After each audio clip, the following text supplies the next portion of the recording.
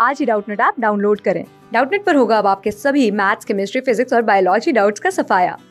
बस अपने क्वेश्चन की फ़ोटो खींचो, उसे क्रॉप करो और तुरंत वीडियो सोल्यूशन पाओ। Download now. हेलो स्टूडेंट आज का जो क्वेश्चन है, वहाँ बोला है find the number of unpaired electrons in these two complexes ये हमारे कोबाल्ट के कॉम्प्लेक्सेस हैं। तो देखो फ़र्स्ट केस में जो कोबाल्ट है, वो हमारा कौन सी ऑक्सीडेशन स्टेट में है, पहले वो देखना पड़ेगा। क्योंकि नंबर ऑफ़ अनपेयर्ड इलेक्ट्रॉन के लिए हमें ऑक्सीडेशन स्टेट पता होनी चाहिए। तो देखो, यहाँ पे अगर हम बात करें, सबसे पहले इस कॉम्प्लेक्स को मैं लिख लेती हूँ। तो ये आपका कोबाल्ट है।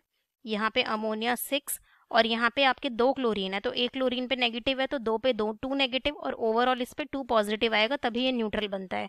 तो कोबाल्ट के लिए हम एक्स लिख सकते हैं प्लस अमोनिया एक न्यूट्रल लिगेंड है six into zero is equal to plus two तो यानी कि एक्स क्या आ गया, हमारा प्लस टू आ गया। अब यहाँ पे कोबाल्ट का कॉन्फ़िगरेशन लिखना पड़ेगा। कोबाल्ट का कॉन्फ़िगरेशन क्या हो जाएगा, देखो कोबाल्ट का नॉर्मल कॉन्फ़िगरेशन क्या होता है argon three d seven four s two अब हमारा किसमें है? कोबाल्ट प्लस टू में है। तो कॉन्फ़िगरेशन क्या हो जाएगा? आपका आर्गन थ्री डी सेवन हो जाएगा, ठीक है? अब सवाल क्या पैदा होता है कि यहाँ पे पेयरिंग होगी या नहीं? अब वो कैसे डिपेंड करेगा? लीगेंड पे डिपेंड करता है। तो देखो, एक चीज़ होता है कि अगर मैं बात करूँ अमोनिया की तो अमोनिया जो है ना, वो आपका स्ट्रॉन्ग और वीक दोनों की तरह बिहेव करता है। उसकी कुछ कंडीशंस है, वो डिपेंड करेगा। सेंट्रल आइटम पे डिपेंड करता है ऑक्सीडेशन स्टेट पे और कॉर्डिनेशन नंबर पे।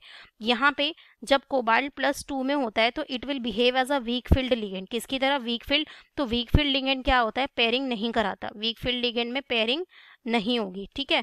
तो अगर मैं यहाँ पे लिखूँ, इसकी हम कॉन्फ़िगरेशन लिखें, यहाँ पे डी के लिए, मैं सिर्फ़ यहाँ पे डी ऑर्बिटल ड्रॉ कर रही हूँ क्योंकि हमें हाइब्रिडाइजेशन से तो मतलब है नहीं फ़िलहाल। तो देखिए, यहाँ पे क्या हो जाएगा, आपका डी सेवन है। One two three four five six seven three d है। अनपेड इलेक्ट्रॉन्स कितने हैं? तीन, क्योंकि पेयरिंग नहीं होगी। तो हमारा इसमें कितना आ गया? आंसर थ्री आ गया। अब बात करते हैं इसकी। तो यहाँ पे x plus six into zero ammonia के लिए इक्वल टू क्या होगा? प्लस थ्री होगा इसके ऊपर, क्योंकि तीन क्लोरीन है तो ये प्लस थ्री तो यहाँ पे आपका कोबाल्ट किसमें आ गया? प्लस थ्री में आ गया। किसमें आया? प्लस थ्री में। अब जब कोबाल्ट आपका प्लस थ्री में होता है तो उस केस में क्या होता है? चार्ज जब बढ़ जाता है तो हमारा अमोनिया किसकी तरह काम करेगा? स्ट्रॉन्ग फ़ील्ड लीगेंड की तरह काम करेगा। तो यहाँ पे पेयरिंग होगी। तो अब हम क्या करेंगे? कोबाल्ट प्लस थ्री की कॉन्फ़िगरेशन लिख लेंगे। कोबाल्ट प्लस टू की तो लिखी ही थी। तो थ्री डी सिक्स आ जाएगी क्योंकि यहाँ पे सेवन था। अब यहाँ पे क्या होना है? यहाँ पे तो पेयरिंग होनी है। क्यों होनी है? क्योंकि हमारे पास क्या है? स्ट्रॉन्ग फ़ील्ड लिगेंड की तरह अमोनिया बिहेव कर रहा है। तो थ्री डी सिक्स है। One two three four five and six अब पेयरिंग होगी तो ये यहाँ पे शिफ्ट हो जाएगा और ये इलेक्ट्रॉन यहाँ पे हो जाएगा। तो ये आपका किस तरीके से आ जाएगा? यहाँ पे आपकी पेयरिंग हो गई।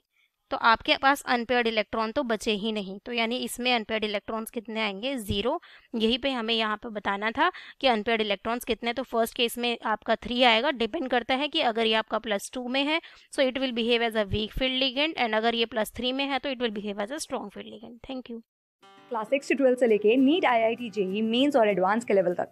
दस मिलियन से ज़्यादा स्टूडेंट्स का भरोसा। आज ही डाउनलोड करें डाउट नेट आप या व्हाट्सअप कीजिए अपने डाउट्स आठ चार सौ चार सौ चार सौ पर।